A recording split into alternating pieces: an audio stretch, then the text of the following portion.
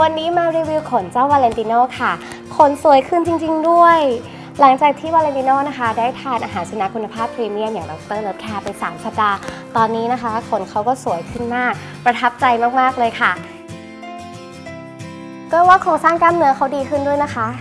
ก็อยากให้เขาสุขภาพดีแล้วก็มีขนสวยแบบนี้ตลอดไป อยากให้เขามีความสุขในทุกๆวัน ต้องเลือกสิ่งที่ดีที่สุดให้เขาด้วยนะคะ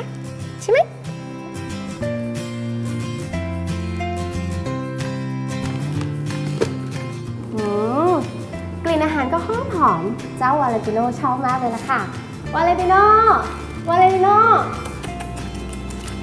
มาทานแล้วกินเยอะนะจะได้คนสวยๆ